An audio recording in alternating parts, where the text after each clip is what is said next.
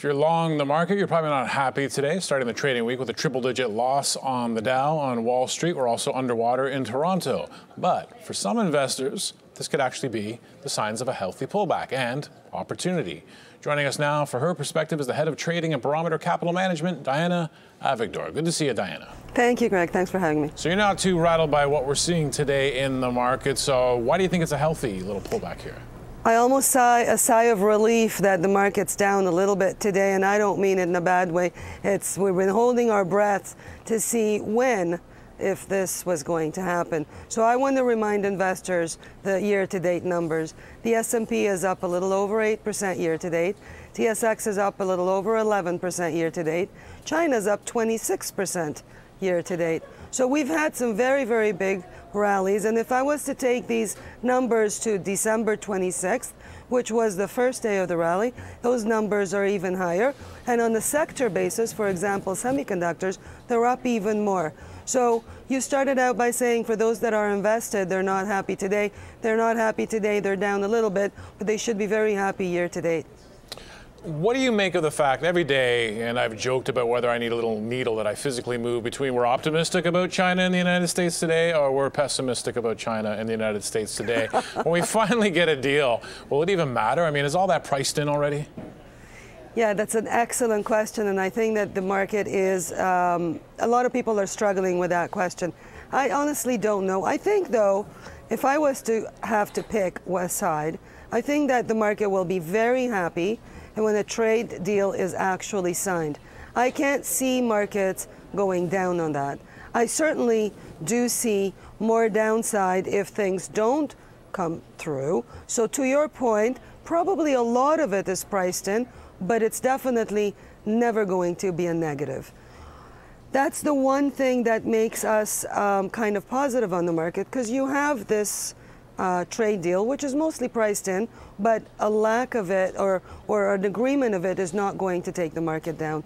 Another thing that makes us uh, positive on the market is the fact that the economic data that's coming out that's kind of negative, um, it's really reflecting uh, the market that is already traded back at the uh, end of 2018. So we're now getting the reason, we're getting we're now getting the reason why the market was down back in 2018. So the market's no longer going down on that.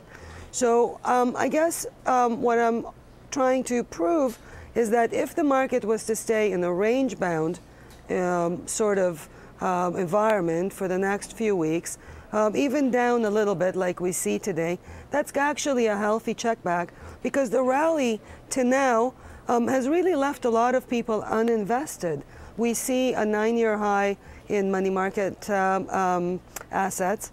Um, so a lot of, we see low leverage, we see low um, investor interest, a lot of fear. So we know that a lot of people have not made money. So a little bit of a check back might actually uh, encourage people to reinvest some of the funds that they raised back in Q4 18. I find it interesting that you say that, that a lot of people, despite the rally we've had, are still uninvested. Have we not recovered from the scars of 10 years ago? I mean, that, that was quite a beating that a lot of our portfolios took. And I don't know if a lot of people fully trust again in the market moves after what they saw in 2007, 2008. Uh, you know what, Greg, that's exactly, you're touching on a very, very great point. Um, it's in most people's DNA right now to be uh, market bears. Um, you know, the rally since the great financial crisis has been a very hated rally.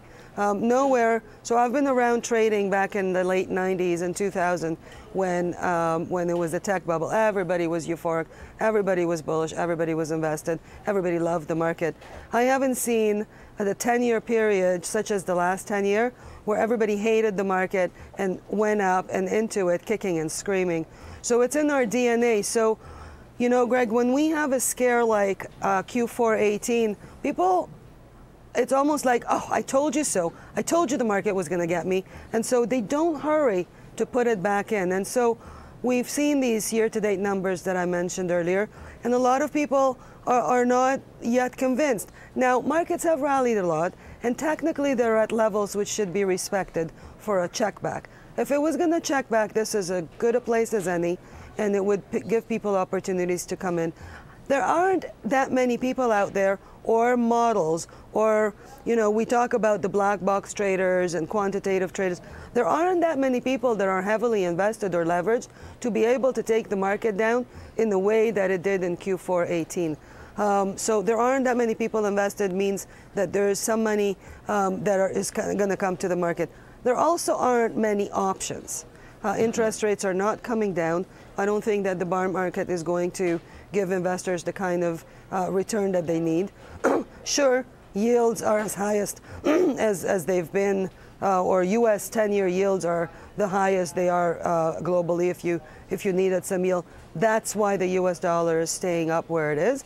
But um, really, if you're thinking, if you're not thinking that there's going to be a recession, so if you do not believe that the the economy is going into a recession, I think the equity markets are right now, even if it check back, in a very good uh, buying opportunity. You said off the top, Diana, that you know we've been doing pretty well in Toronto. We're up 12% year to date. Uh, I sometimes when I talk to people who are bullish on the markets, but they're not always bullish on Canada. They, they believe the Wall Street story. They don't believe the Bay Street story. Geographically speaking, what what countries, what areas are you more excited about? Do you have faith in us here in Canada? I have a little bit of faith in us. I do. Um, the the problem always with the Canadian stock market is this it's not a diversified enough stock market, and that's why asset managers go outside of it to diversify. So, if you want energy, um, uh, some decent financials with good yield, some good industrials, uh, say the rails, um, and our newly found sector, the cannabis sector, um, you can utilize Canada for, for that. We've, had, we've put on uh, some REIT exposure as of the beginning of the year as well, so that's worked really well. But if you want healthcare, uh, technology, um, some more industrials, uh, defense, uh, Boeing and such, you must go outside of Canada in order to gain exposure to the globally best companies out there. FANG, uh, you know, Amazon, Netflix, uh, you know, uh, software, Microsoft, those kind of names. So if you want a truly diversified portfolio with all the best in it, uh, some of it has to be Canada, but some of it you have to step outside. So in answer to your question, um, we believe North America is still the best place to be.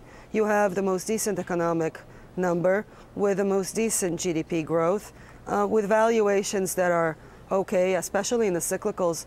Uh, the cyclicals right now, at, uh, relative to the S&P, the valuation relative to the S&P is as low as it's been in a very, very long time and quite at extremes. So if you don't believe that the economy is going in a recession, some of these investments are quite attractive. All right, Diana, uh, Diana, great to catch up with you. Thank you very much for having me. It was the head of trading of Barometer Capital Management, Diana Avigdor.